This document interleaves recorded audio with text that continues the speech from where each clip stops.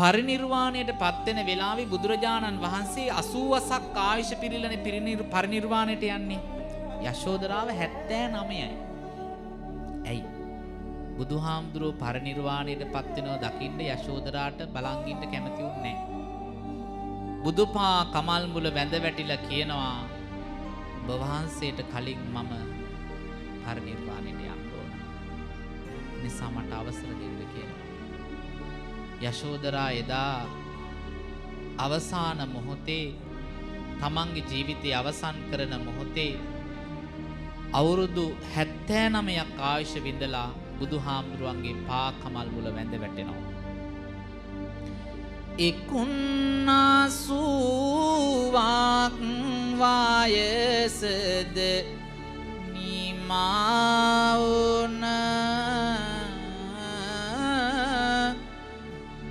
නිමාවන පිම්බර මෙහෙනියක් වීමෙන් ගෙවුන තැන.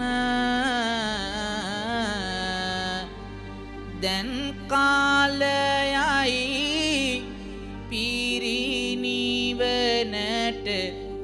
වඩින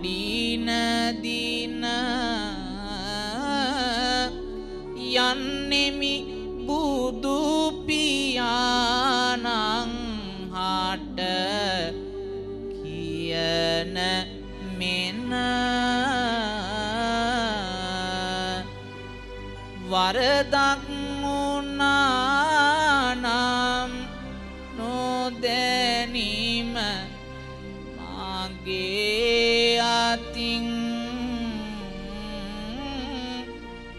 වැඳලා සමා ඉල්ලමි. අවසාන ලෙසින් පිරිනිවනට අවසර අතමි බැතින් බුදුහිමි වටා තේවරක් හැදකුණොද කරන්න මට බුදු බාවලාබන්නට ශක්තිය දුන්නේ ඒ පිනෙන් නිවන් මාවෙත හිමිවන්නේ. පින්වත් බුදු පියාණනි මම සමුගන්නේ.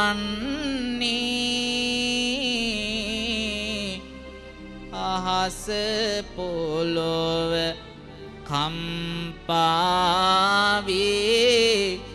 ගුගුරන්නේ.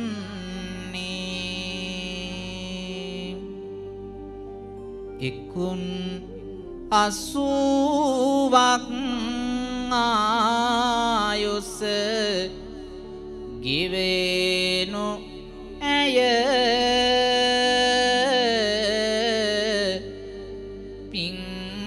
පින්බර මෙහෙනි පිරිනිවනට ළඟාවිය. පෑවා ප්‍රාතිහාරය ලොව නැතිව බිය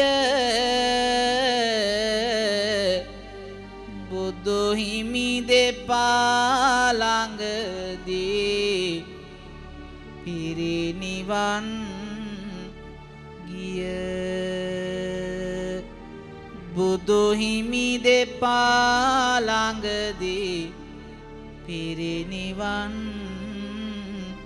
ගිය. ගුගුරා සැලෙන්දී කම්පිත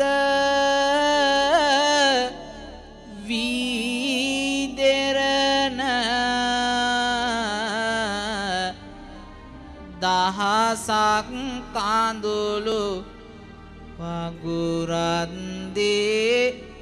නෙත් නගින. සැමටම මා පෙනීවා යන පිරිනිවන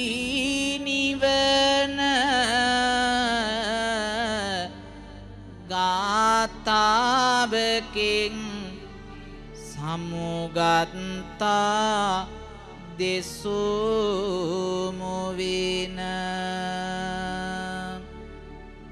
යශෝදරා ගුරුළු වේසයක් මවාගෙන අහසට නැගල ප්‍රාතිහාර්ය පෑවා.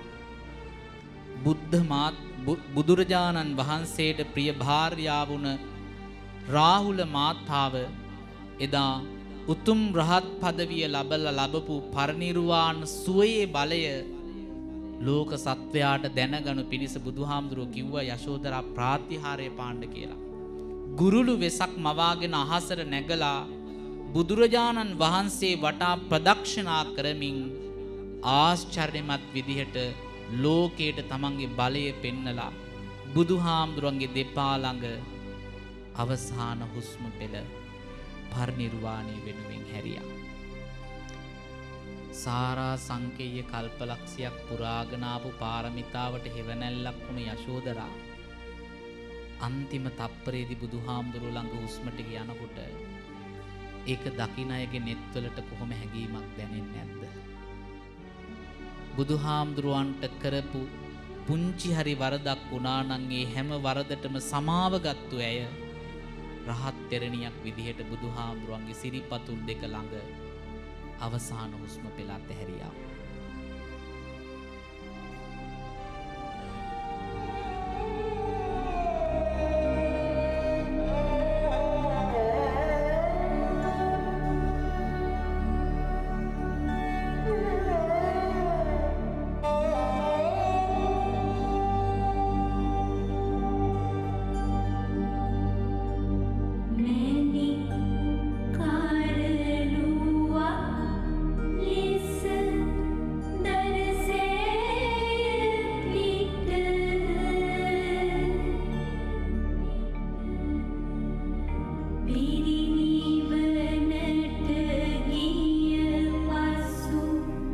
Wedding.